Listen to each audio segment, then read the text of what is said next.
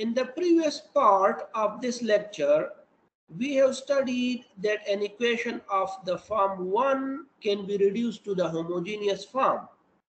We studied two cases. Now let us solve this example.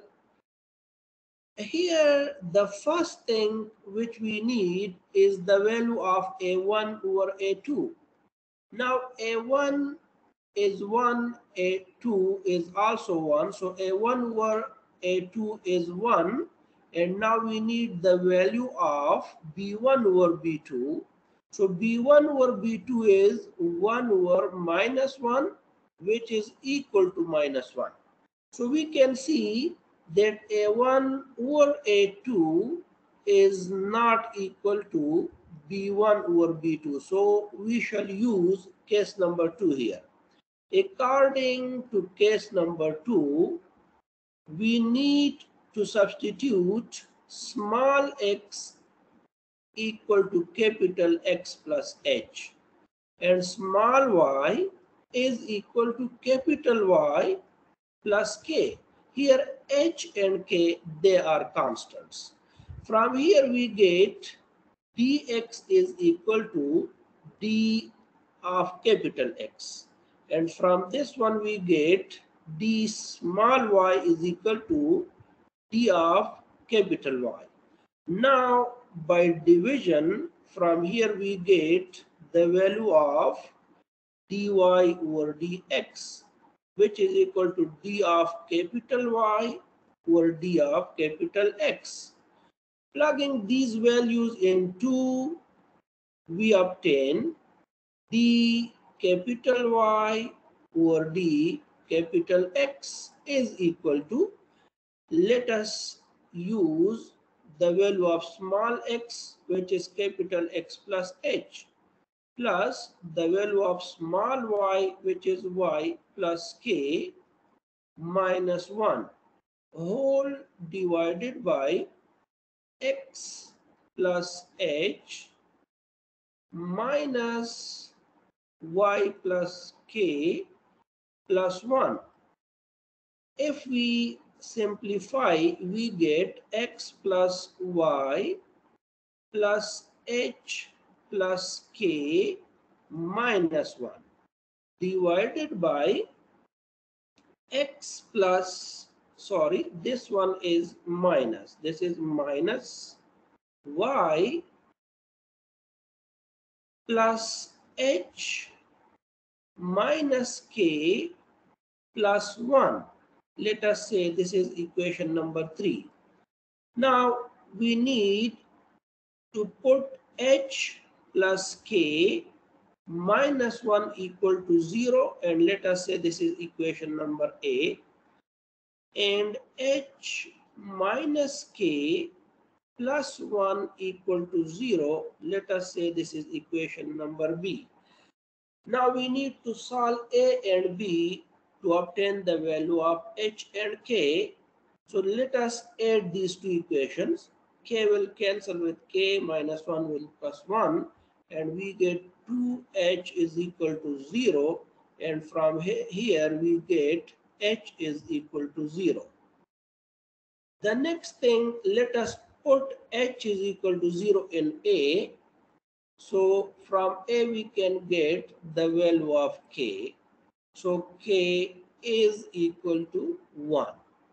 Now, if we use h is equal to 0 and k is equal to 1 in equation number 3, we get dy over dx is equal to x plus y divided by x minus y. And we can see that it is a homogeneous ODE. So let us solve this homogeneous ODE. We put y is equal to vx and from here we get the value of dy over dx which is equal to v plus x dv divided by dx so let us say this is equation number 4. 4 becomes v plus x dv by dx is equal to x plus vx divided by x minus vx.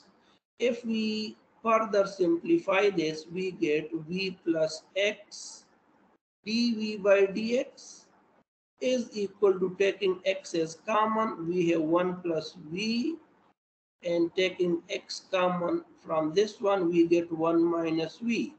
Now x will cancel with x and let us take v to right hand side. So we have dx over dv divided by dx is equal to 1 plus v divided by 1 minus v minus v. Now we take the LCM. So if we take the LCM, the LCM is 1 minus v. We have 1 plus v minus v plus v square minus v and plus v, they will cancel. So we get x dv over dx. This is equal to 1 plus v square. So let us write it as v square plus 1 divided by 1 minus v. And now we can see that this is a variable separable equation.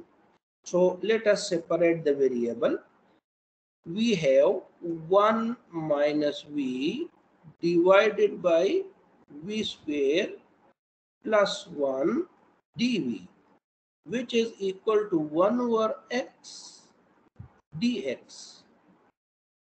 And now let us integrate both sides.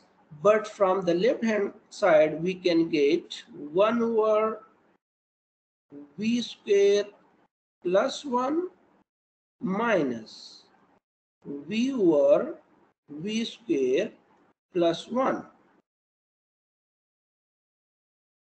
And now we write dv is equal to 1 over x dx.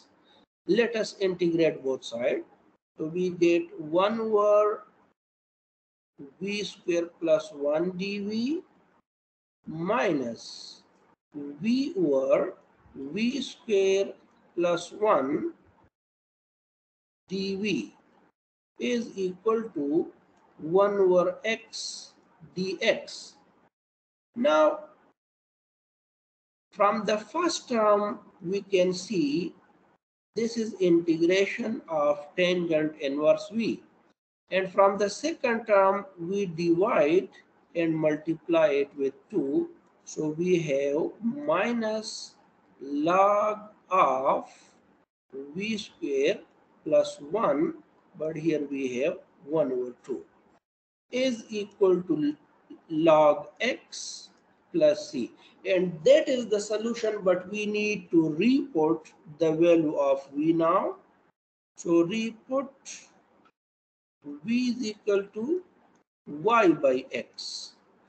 We obtain tangent inverse of y by x minus 1 over 2 natural log of y square divided by x square plus 1 is equal to natural log of x plus c. Now the given question was in small x and y, but here we have capital X and capital Y. So let us uh, reput the value of capital X. The value of capital X is small x minus h, but h is 0. So we can write x minus 0. So capital X is equal to x. And capital Y is equal to small y minus k. Now let us put the value of k which is 1. Using these values we obtain tangent inverse of y minus 1 divided by x minus 1 over 2 natural log of the value of y is y minus 1 whole square divided by the value of x which is small x so x square plus 1 this is equal to natural log of the value of capital X is again small x plus c and that is the required solution. That's all